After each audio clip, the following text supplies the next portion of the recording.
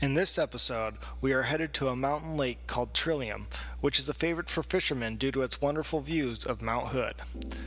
This lake is easily found off Highway 26 just past Government Camp. It is a 57 acre lake that offers up cutthroat, brook, and rainbow trout, and it's best fished in June and October. For those of you that bring a boat, there are two decent sized boat ramps found in the drive-in campgrounds. If you don't have a boat, there are plenty of great bank spots within the campgrounds. The far south end, where the dam lies, is where the deepest part of the lake is, which makes this a very popular spot for fishermen. You will also find a few spots in the northwest corner where there are several walk-in campgrounds. Now if you do have a boat, the best bet in the morning is to head to the far north corner where you can anchor up just before the marsh to possibly see a great sunrise.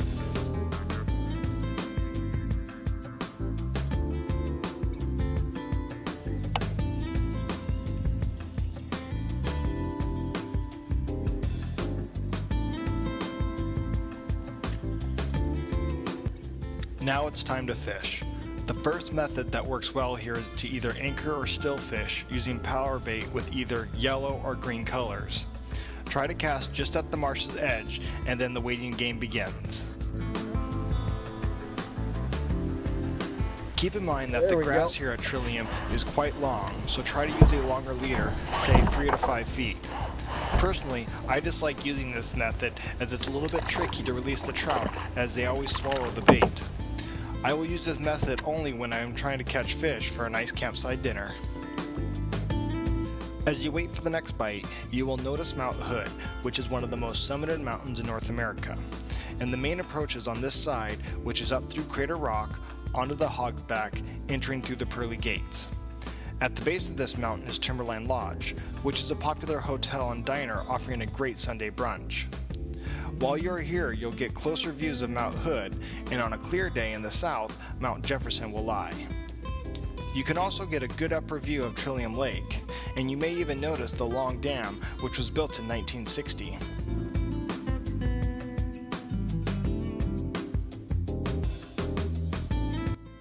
Here at Trillium Lake in the middle, just kind of doing a big oval, I guess you can say.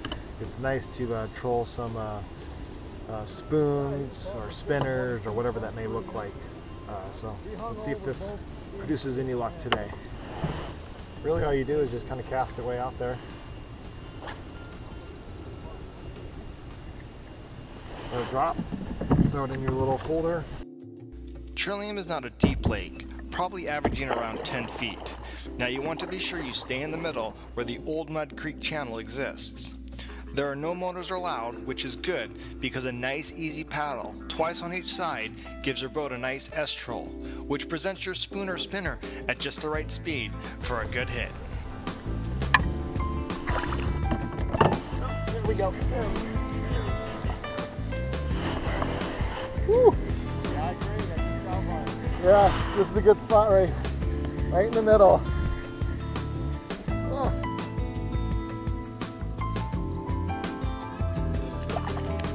Well, that was fun.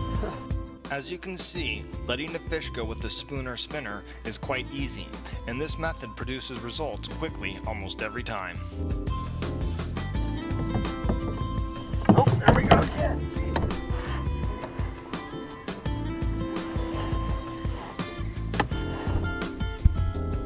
Now you will notice there's a lot of marsh and our lily pads on the west side of the lake, my dog Cheeto certainly enjoyed trying to track down the ducks as they waddled themselves through the lily pads.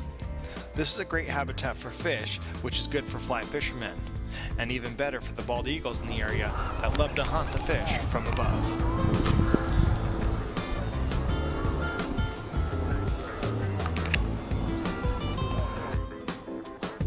Another productive method is to wind drift from the lake while casting spoons, staying generally in the creek channel. Nice. Nice. Five.